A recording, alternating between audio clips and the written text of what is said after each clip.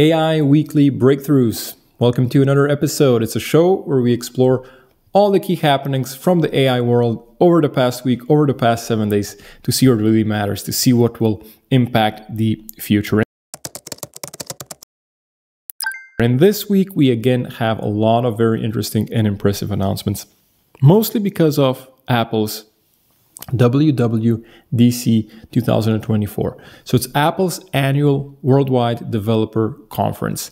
And as usual, they kicked it off with a few hours of announcements. What I want to do here is share the main one. So, a lot of different features, a lot of new capabilities coming across their devices. I want to focus on the key ones. And this edition of WWDC was especially highly anticipated because Apple, they've been relatively quiet about their generative AI plans, and they promise they're going to talk more about it here, and they deliver on that promise. So let's look at some of the key ones. And first one, without a doubt, Apple Intelligence. What is it? AI for the rest of us. This is how Apple calls it. It's personal intelligence built into Macs, iPads, and iPhones, so across their devices. And before I explore how this is different to what let's say OpenAI is doing with ChatGPT, what Google is doing with Gemini models, let's look at some of the capabilities that Apple Intelligence brings. Number one, writing tools, helping you write better text, articles, emails, for instance, right? Proofreading, summarizing text, extracting key points from text. Number two, image generation, Playground and Genmojis. You can now generate new creative emojis. And then three, updates for Siri. A lot of updates coming to Apple's assistant Siri. Number one, it's now supercharged with Apple, Apple Intelligence. Number two, better natural language understanding. So this is generative AI capabilities coming to Siri. You will now be able to give out more complex instructions, or perhaps you will stutter and Siri will still be able to understand you. And you will be able to write to Siri as well. And then third, and this is very important, this is where Apple is different, personal context. So let's say OpenAI, ChatGPT, Google Gemini models trained on vast amounts of data, they are really good at understanding world knowledge. What they're not that good at doing is understanding you, understanding your background, understanding the context of you, tasks that you are performing day to day. This is what Apple is focused on. This is what Apple is trying to solve so that AI will really be custom custom built for you and it will be able to assist you better because of it. What does this really mean in practice? Apple shared an interesting example of a task that Siri will now be able to accomplish. I can now ask it, when is my mother landing tomorrow, right? And Siri will be able to access this information. It will know who is your mother and it will be able to extract the information about her flight arrival time. And you'll be then able to continue the conversation and ask, what dinner plans have we made for that evening? And again, having access to this information in this case text messages, it will be able to extract that information. You booked a dinner reservation at 7 p.m. in an Italian restaurant, for instance. So this is what personal context means. Obviously, price, privacy is a big consideration here, but Apple says they have it covered, and more about that in a minute. Second big announcement Apple partners with OpenAI. A lot of the intelligence in Apple Intelligence is actually coming from OpenAI. So Apple is integrating ChatGPT into experiences within iOS, iPadOS, and macOS. So again, across their devices, across their ecosystem.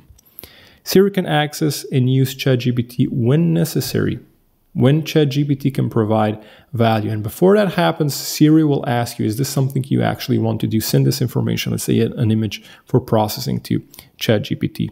ChatGPT is also available in the system-wide writing tools, which I already mentioned. And then lastly, privacy. So extra focus on privacy protection. Requests are not stored by OpenAI. IP addresses are obscured, and users can connect their own ChatGPT, own ChatGPT accounts to these features. And logical next question: Is Apple giving up on the idea of developing, training their own generative AI models? Not quite. They also released or announced two different models or two groups of models. So on device models and then server foundation models. So on device models, smaller language models. So Apple is continuing this trend of building highly capable but small language models which can run on edge devices. So this is a 3 billion parameter model in, in, in, in this instance. And then second, larger server-based model. This is more similar to, let's say, what OpenAI is doing and what the Gemini models are from Google. And another focus of, of Apple with these models is that they are really tailored to tasks that users of their devices are doing day to day. So one of one such task is, for instance, summarization. So here is comparison between Apple's model to Microsoft's Phi 3 mini model. So Microsoft Phi models, family of small language models, and we see that Apple's models that perform better on this particular benchmark eva evaluating summarization. Second comparison is the versus comparison. So comparing users saw responses from two different models and then chose which one they prefer better. And we see on the left, small language model comparison to Gemma 2B, Mistral 7B, Phi 3 Mini, and then Gemma 7B. And we see that in all of those comparisons, Apple's on-device model was better or its answers answers were preferred to the answers of other models. And then the bigger model, Apple Server, compared to DBRX Instruct, compared to GPT 3.5 Turbo, compared to Mistral's mixture of experts model 8 times 22B, and then lastly GPT-4 Turbo.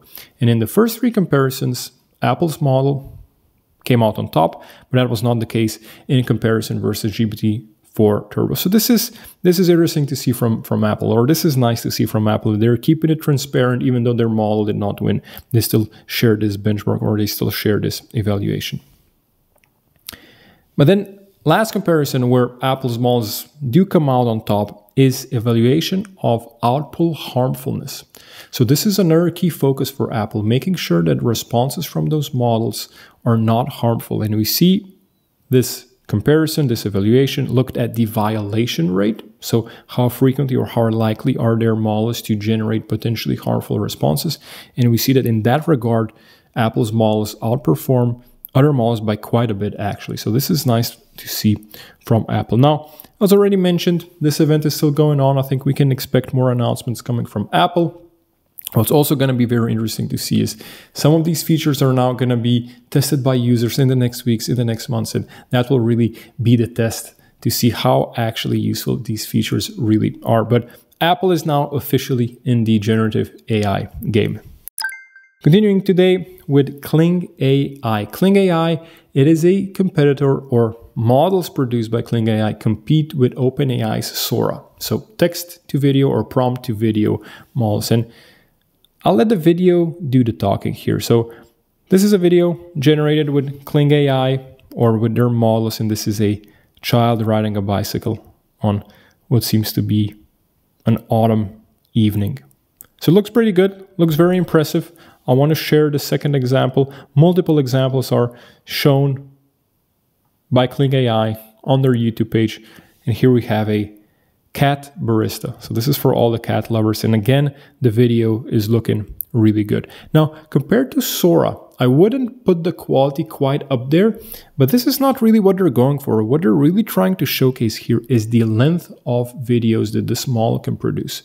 So what we're seeing with text to video malls is videos are usually really short, only a few seconds, five, six seconds. In this case, the first video is over a minute long. It's actually one minute and 30 seconds long. And the second video is also longer. So this is pushing the boundaries of this technology. Something similar is happening to video length as it's happening to input context window size, right? So it's increasing and the quality is increasing as well. So I think this is a trend that we can continue in the future. Well, videos will be longer and longer.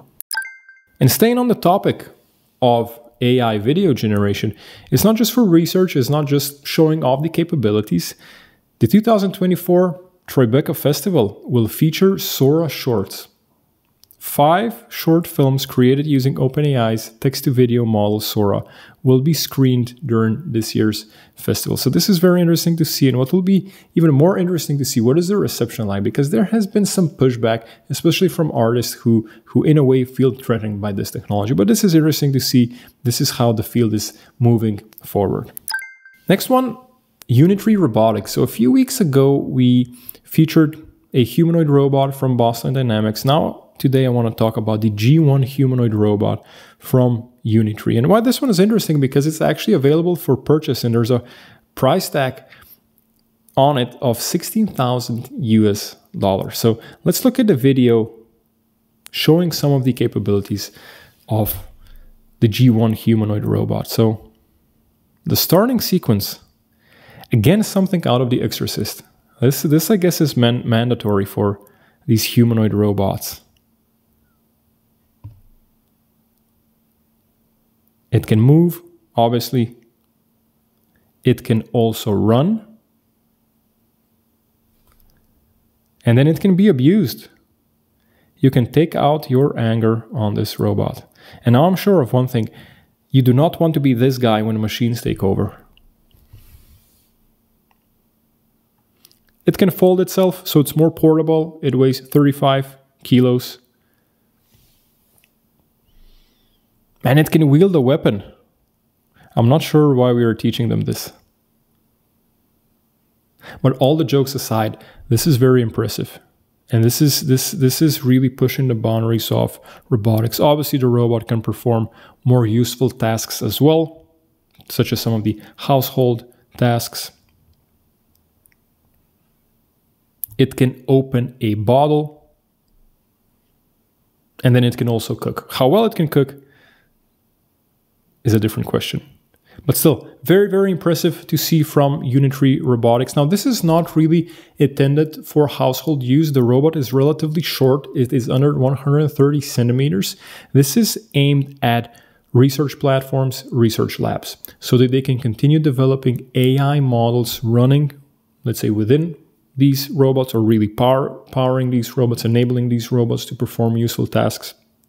And Looking at the assistants that are now coming to devices and looking at some of the capabilities of humanoid robots, I think we can all see where the future is going, where these capabilities will be within these models and we'll be able, or sorry, within these robots, and we will be able to use them to, let's say, help us with cooking, help us with some of the household tasks such as cleaning.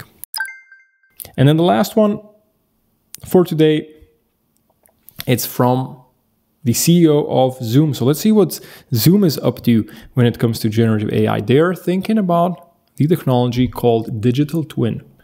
So what you will be able to do is create your AI avatar, and this AI avatar will attend meetings on your behalf. So you'll be not, you won't be, you won't be attending meetings yourself. You'll send your AI avatar. This AI avatar will actually be able to make decisions on your behalf, or this is the goal. This is the future we are going towards, says the CEO of Zoom. And this is very impressive, but let's see what Zoom can actually deliver in the near future. And this is it for this week. Thank you for being with us. A lot of very interesting, impressive announcements. Again, Apple's event is still going, so I think we can expect a few more coming from them. But until next time, until next week, thank you for being with us.